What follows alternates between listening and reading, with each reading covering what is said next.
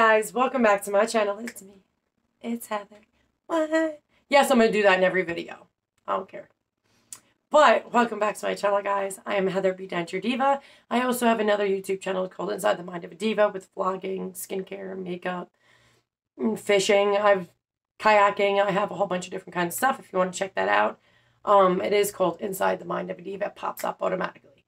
Um, but if you guys don't know and you're new to my channel, hi, what's up? What's good? Um, I will always be honest and real. I always fact check my stuff, or I tell you if it's my opinion and just by my experience. Um, so if you want, you could just hit subscribe to my channel so you don't miss out on my videos or my giveaways, Dr. B giveaways, Denture Fit giveaways, my own separate giveaways of all kinds of stuff. Um, but I will hide the giveaways inside my uh, videos. So make sure you watch my videos fully through so you don't miss out.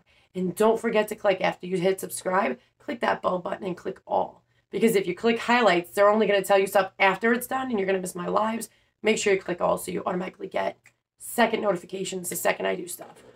So, I wanted to make this video um do's well don'ts with dentures because people commonly make mistakes with dentures. Commonly. Why is my skin? Sorry guys, I'm a big blooper, but it felt weird. I think I got bit again all the time I get bit by mosquitoes. But side note, um,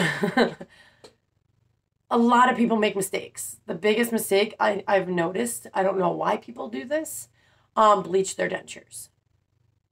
Do not bleach your dentures. I don't care what anybody's excuse is. Do not bleach your dentures. A lot of people, if they do not clean their denture properly, they're going to get mold, mildew. It's gross in or on their denture and people try to bleach it out. Do not do that. First of all, clean your denture properly and that wouldn't happen. Um, make sure you clean your denture twice a day, just like what you would do with your gums. Having dentures is double the work. So you're going to have to not only clean your gums and make sure they're cleaned out, but you also have to do your denture twice a day as well. Um, and make sure your gums breathe. Take them out every night. Let them breathe. Do all that. Um, it's you know, it heals mouth sores quicker.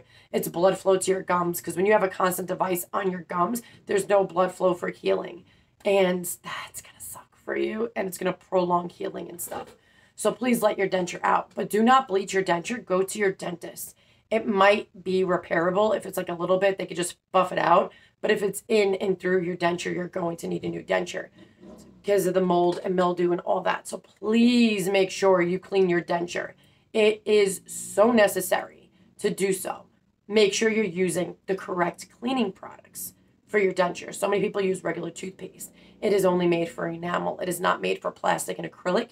So using regular uh, regular toothpaste will actually cause microscopic abrasion abrasions inside your denture, and it'll cause like little cracks, crevices, whatever, and that's how mold and mildew gets in. There is denture paste like Fresh and Bright or Dr. B's Cleanadent paste you can use that one specifically in your mouth and your denture. That is the only one you can do. So it's actually easier. You have one product to do two things at once. It's quite easier. Uh, you know what I love about it? Because if you're out at a restaurant or whatever and you got, you don't like the way it feels, you can literally just take a toothbrush and use the Cleanadent paste and put it inside your mouth and clean your denture just like you would your regular teeth. So that's pretty cool. That's my favorite product. But you want to make sure you use the proper stuff. You know, a lot of people say, you know, I, I do the tablets, you know, at nighttime. I don't recommend that because I what it is is the overnight tablets, especially the ones that are called whitening. They don't actually whiten. There's no bleach. There's no none of that stuff inside there. All it does is lift stains and it brings it to the color you originally picked out. A lot of people have been confused about that. They think because if they don't like the color they picked out for their denture, if they use overnight whitening or whatever, it's going to make their denture whiter than what they what they picked out. No. It only lifts what you had before. Remember, this is plastic. These teeth are plastic. So even when you eat hard things or stuff like that, your teeth will be grinding down quite faster than regular teeth would. That's why you have to get new dentures every eight years, five to eight years, um, because your teeth get smaller and smaller and smaller, and then there's like no teeth left. So, um, yes, please make sure, please make sure you get new dentures every five to eight years. Not only can it mess up your jaw, they're ill fitting. It is just please repair them. I've seen so many people say, you know, I've had my dentures for 20 years. That's not good. Um, not only it's it's your health and well being using something like that and the germs factor. No matter how hard you clean it over 20 years, you know, there's cracks, crevices, more than you possibly could even imagine that's inside your denture. Um, and your teeth are really short and small. So it's like eating, it'll be a bitch. And then say if you eat more on one side, one side's gonna be bigger than the other side. Please make sure you redo your denture. I did make a list. I have bad memory, guys. Bad memory. Ooh, that's a big one. No hot water. People use scalding hot water on their denture. You will actually warp the shit out of your denture. It is acrylic, and hot water can actually melt, move, disform anything, mess up. Teeth can actually come out, and it's a heaping hot mess. So please make sure that you are not using hot water. Like when I take out Reline or a denture reliner, you know, sometimes you need a little bit more than warm water, but never use scalding hot water Never do any of that. You can use a little bit more than warm, but never hot. I mean, so many people I see on all the denture support groups like, oh, just use hot water. Please don't. Because then you know how many people I've seen show pictures and be like, Heather, this is what I'm like, well, what have you done recently?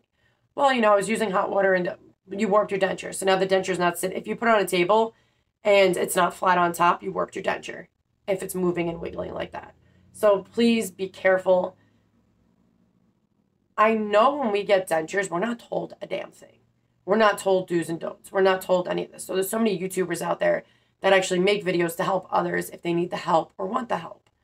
Um, but like use eating hard objects like peanuts or even hard bagels. You know, it can definitely break your teeth. Even if it didn't happen the first time, it can happen the second or third or whatever. I've seen denture YouTubers break their teeth over nuts. And that's the biggest don't with dentures. If you actually Google it, because I actually did do a video on what not to eat with dentures. If you just Google what not to eat with dentures, every site in the freaking free world, Mayo Clinic, you have all these places that will give you a list of things you should never eat with your denture because even though you eat it now, it doesn't mean you're not going to dislodge your tooth and have that come out or break straight down the middle. This is acrylic, like acrylic, my nail's acrylic. So it does break. Um, a lot of people do not soak their water, soak their denture in water overnight. Please do so. It keeps your denture moist. Your denture can dry out and it can break over time, and it's best to soak them in water. It, it prevents so many things, guys. So what I do with mine, and I think I'm just going to do a nighttime ritual with you guys um soon. I mean, I've done a bunch of videos like that, but I'll show you my nighttime ritual. Where I what I do is I take liquid crystals from Dr. B and I put in the sonic cleaner, do two squirts or three squirts, whatever. Put my denture in there, let it sit for 15 minutes. Um, I take it out, I rinse it out. So that means it's lifted the particles, it loosens up the plaque, it did all that. I use a Cleanadent paste and I scrub the crap out of my denture. Rinse it all off. I do all that. Then I take just regular clean water and I put my denture inside of it and I just let it sit overnight. Let it do its thing. A lot of people ask me, how do you get adhesive off your denture? The miracle part about it is you could just put your denture inside of water and it melts and disappears because water melts adhesive. That's why people's denture pops. If there's a gap or a hole, if your denture's too big and there's too much space, water can get in and melt, melt your adhesive. That's why people's adhesive come out. So, and your denture pops. So, always keep up with your adjustments, guys. Always keep up with your soft relines especially in immediate stage. But in my permanent stage, still use a soft reline. My gums are still shrinking. It's not as massive as it is with, say, you know, my immediate denture, because that was absurd. I could have done a soft reline, and two days later, denture was loose again. I'm like, come on, bro. Like, what is your problem? But your gums do rapidly shrink, especially in your first year. Definitely, the first six months are insane, but your whole life, your gums are going to shrink. Bone loss is going to happen. Is implants better? Yes. Um, but a lot of us can't afford that. And some people have more bone loss than, you know, getting implants. But I will do an implant video and, and explain, you know, um, implants can be rejected by it. And you have a higher chance of it not being rejected if you get the implants, even for snap on dentures or bridge or whatever, um, if you get them right day is your extraction, your extraction date, because it automatically thinks and it fuses together. If you wait, it's a high chance it can be rejected. And that's a lot of money wasted. And I don't want I don't want anybody wasting their money like that. That sucks. Like if I got implants and I was told, you know, that it rejected it, I'd be so pissed. because that's a lot of money, guys. That is a lot of money. Um, but the other one I do want to say, because it's a lot you shouldn't do with your denture, but sharp objects. You know, a lot of people use a Dremel on their denture for adjustments.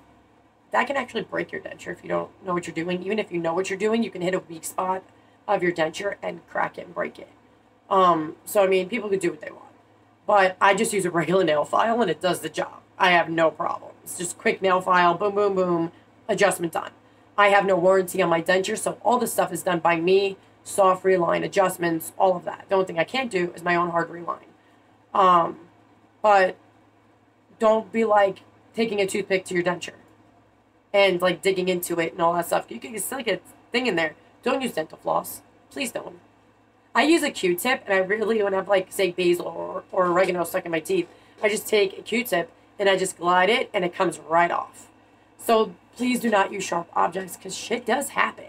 And a lot of people think, oh, this won't happen to me. Oh, this one, it, it can happen to you. Like, I, after what I've been through in my life, I never think things won't happen to me because I always think bad shit happens to me because it does. But I don't want you guys to ruin your investment. And I make these videos so you guys are aware because, like I said, we're not told shit. And, you know, I made a video that dentists should really come out with. I know Dr. B has it on um, his website um, for denture wearers, but they should have a list they should be giving it to you and tell you the first month what's going to happen, what to expect. You know, bone chips, bone shards, bone spurs, everything. Like there should be, and they don't. They're like, here's a denture, check you out later, see you in six months, late potato. Like that's what they do. And I just want to help you guys. So if there's any specific videos you guys want done, make sure you comment down below and let me know what video goes videos you guys would like to see. But don't forget, guys, September 2nd is my bottom last 18th extraction day. Um, it's going to be interesting. But I will vlog from the second I get them done all the way through the pain levels, show you how I do to cope with it, go through it, when the bleeding stops. You know, I could probably still use adhesive after the second week on the ones that have already been done. It's just the front I can't, which is going to be interesting. So, I'll check you guys later on the flip side. You guys know how to reach me. Go to the description below. The little arrow next to the title of this video drags on how you can reach me, how to get a hold of me, my denture support group, everything you need to know. I love you guys.